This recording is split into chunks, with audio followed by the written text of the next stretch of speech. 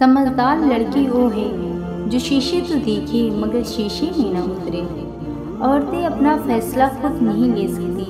औरत अपने लिए पसंद का माहौल नहीं बना सकती। औरत खुद को बेगुनाह साबित नहीं कर सकती, सिवाय अल्लाह पर मामला छोड़ देने की जब तक औरत ना चाहे, मर्द अपने हद कभी नहीं पार कर सकता। बीबियाँ और बेटियाँ हर किसी को हज़रत फातिमा जैसी चाहिए। लेकिन कोई भी हज़रत मोहम्मद सल्लल्लाहु अलैहि वसल्लम जैसा बाप नहीं बनता और ना ही हज़रत अली जैसा शोहर। एक लड़की जब रुखसत होती है तो वो सिर्फ़ अपना घर नहीं छोड़ रही होती, बल्कि घर के साथ अपना बचपना, अपने नास नखरे, अपनी अना, अपना आप भी छोड़ रही होती है। दुपट्टा लड़की की शख्सियत को चार चाँद लगा देता है। जुल्फ़ी चाहे कितनी ही हसीन क्यों न हो, लेकिन जो ताज़ीम सर पर दुपट्टा करवा सकता है वह हसीन जुल्फ़ी नहीं करवा सकती। औरत को अल्लाह ने तीसरी आँख भी दी है, जिससे वो मर्द के उस अंदाज को पहचानती है, जिस अंदाज से वो उसे दिखता है। सब समझते रहे कि औरत माशूक है, सिर्फ़ शाह को मालूम था कि औरत आशिक है। इसलिए शाह लतीफ़ ने लिखा, औरत इश्क की उस्ताद है।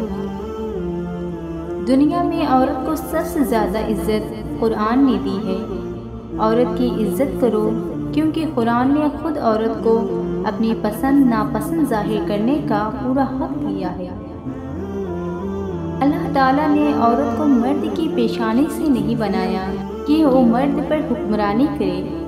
न उसके पाँव से पैदा किया कि वो उसकी गुलामी करे, बल्कि उसकी फसलियों से पैदा किया कि वो उसके दिल के करीब रहे। औरत तब बर्बाद होना शुरू होती है, जब उसकी हुस्न की तारीफ़ एक गैर मर्द कर रहा होता है।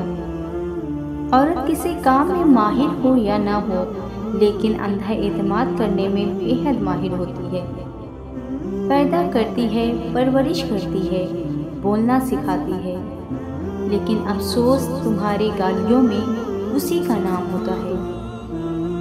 औरत के तकदस की हद ये है कि फरिश्तों से भी उसकी बनावट का पर्दा रखा गया और पहले औरत उस मर्द की फैसले से पैदा की गई, जिसकी ओ मनकोहा कहलाई। ये सच है कि औरत में दर्द सहने की आदत है, मगर उसका यह मतलब भी नहीं है कि वो दर्द दिए जाने ही की मुस्तक है। औरत के लिए ज़रूरी है कि गुनाह करने से पहले वो अपने आप पर तरस ज़रूर खाए, क्योंकि गुनाह करने वाली औरत को तौबा के बाद सिर्फ़ अल्लाह माफ़ करता है, लोग माफ़ नहीं करते। वो झोपड़ी जहाँ औरत मुस्कुराती है, उस आलिशान महल से बेहतर है, जहाँ औरत रोती है। औरत नाज से गूंदी गई है और नाज की हकदार है। हज़रत आयशा सिद्दीक़ा भी ढूंढती थी कि सरवर कायनात सल्लल्लाहु अलैहि वसल्लम मनाए और मनाया जाता था ये औरत का हक और मर्द का फ़र्ज़ है।